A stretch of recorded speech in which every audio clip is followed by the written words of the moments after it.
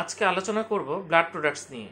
অর্থাৎ ব্লাডের কি কি জিনিস আমরা ব্যবহার করতে পারি এটা কিন্তু অনেক সময় ভাইভাতে জিজ্ঞাসা করে ব্লাড প্রোডাক্টস কি কি আছে। তাহলে প্রথমে যেটা বলি, সেটা হচ্ছে যে হোল ব্লাড এটা আমরা দিই, তোমরা জানো যে রক্তের বিকল্প রক্ত যদি কোনো হেমোরেজ হয়, তাহলে কিন্তু আমরা যে হোল ব্লাড সেটাই আমরা দিয়ে থাকি। এটা একটু মনে রেখো। দ্বিতীয়ত সেটা সেটা হচ্ছে আরবিসি কনসেন্ট্রেট তোমরা জানো যে অ্যানিমিয়ার আমরা কারণ কিন্তু তোমাদেরকে সব কিন্তু পড়িয়েছি বিস্তারিতভাবে। তাহলে অ্যানিমিয়া হলে কিন্তু আমরা তোমার শুধু আরবিসি কনসেন্ট্রেট দিতে পারি। এরপর আসে প্ল্যাটিলেট কনসেন্ট্রেট তাহলে আমরা তিনটা জিনিস কিন্তু জেনে গেলাম, একটা হোল ব্লাড একটা আরবিসি কনসেন্ট্রেট একটা প্ল্যাটিলেট কনসেন্ট্রেট তাহলে প্ল্যাটিলেট কনসেন্ট্রেট আমরা কখন দিই? তোমরা জানো যে আমরা ডেঙ্গুতে কিন্তু অনেক সময় প্ল্যাটিলেট দেওয়া হয়। তোমরা এটাও কিন্তু জানো। এরপরে যেটা আসে সেটা হচ্ছে কোয়াগুলেশন ফ্যাক্টর এটা যেমন আমরা ফ্যাক্টর এইট দিতে পারি ফ্যাক্টর নাইনও দিতে পারি। ফ্যাক্টর এইটের অভাবে আমরা জানি হিমোফিলিয়া হয় এবং নাইনের অভাবে হচ্ছে ক্রিসমাস ডিজিজ হয়। এটা নিয়েও কিন্তু তোমাদেরকে আমি বলেছি। তাহলে এটা হচ্ছে কোয়াগুলেশন ফ্যাক্টর দিতে পারি।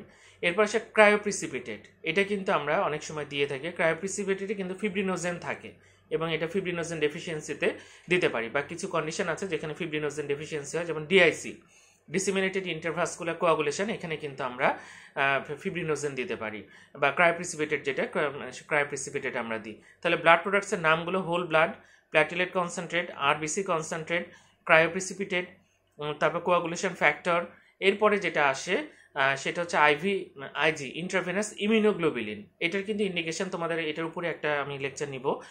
নিশ্চয়ই তোমাদের এটা মনে থাকবে। আইভি আইজি কিন্তু অনেক সময় ইন্ডিকেশন পরীক্ষা জিজ্ঞাসা করে। তো দুইটা তো তোমাদের মনে থাকবে। একটা জিবিএসে দিই গুলেনবেরি সিন্ড্রোমে দিই, আর একটা আইটিপিতে দিই। তাহলে ইন্ট্রাভেনাস ইমিউনোগ্লোবিলিন আইটিপি এবং গুলেনবেরি সিন্ড্রোমে কিন্তু দেয়া হয়। তাহলে ব্লাড প্রোডাক্টসের নাম দিলে তোমরা নিশ্চয়ই লিখতে পারবা সবগুলো। আর একটা আছে হচ্ছে ফ্রেশ ফ্রোজেন প্লাজমা আমরা যদি কোনো কোয়াগুলেশন ফ্যাক্টরের ডেফিসিয়েন্সি হয়, তখন কিন্তু আমরা ফ্রেশ ফ্রোজেন প্লাজমা কিন্তু দিয়ে থাকি। তাহলে তোমাদের নিশ্চয়ই ব্লাড প্রোডাক্টসের সবগুলো নাম এবং সবগুলো কখন কোনটা ইউজ করি, সেটাও নিশ্চয়ই তোমরা পারবা এখন। ভালো থেকো সবাই।